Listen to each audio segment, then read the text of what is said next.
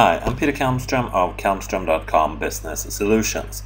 In this demonstration, I'll show you how to get started with the new page model in SharePoint Online. As you see, this site looks exactly like any other site uh, in SharePoint 2013 and SharePoint Online before the new page model. But if you go ahead and add a page, it will actually create a page of the new page model. Edit the page. This is of course a regular wiki page you can type straight into. It's all the, the regular web parts. So that's a wiki page. I'm not gonna save that now. So the home page is still a wiki page. But if you create new pages from this, add a page, it will create a new page of the new page model. So here I can do new home page because that's what I'm going to do. I'm going to set this new page of the new page model as my new home page. And as you see, you can type in a heading. As you see, there are very few options. I cannot put in line breaks. I can't change the height of this. The only thing I can do really is publish and um, save and close or, or else I can add new content here.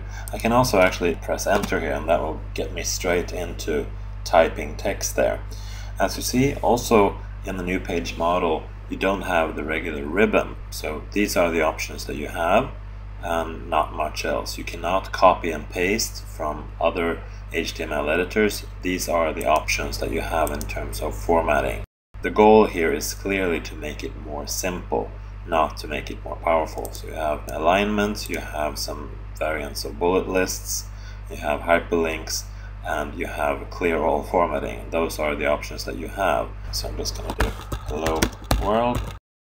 Actually, as you see, you can't even select the color of those, but you can set bold, italic, underline, those kind of things. You can certainly do that. But the focus is on simplicity, and then you can add more web parts into this page and these are the available web parts that you can add at this time. I'm going to do separate demos to discuss these different web parts.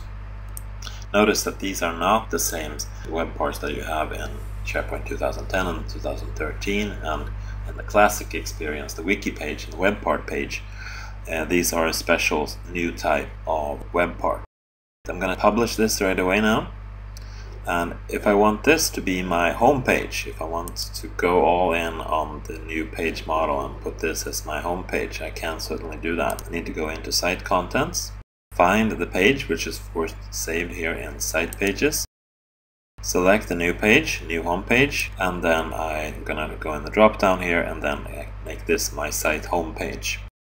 So now if I go on home there, you'll see that this is the home page of my team site. So that's a get started video. I'll go into more details about the new page model, but that should get you started and working with a new page model. Thank you for watching.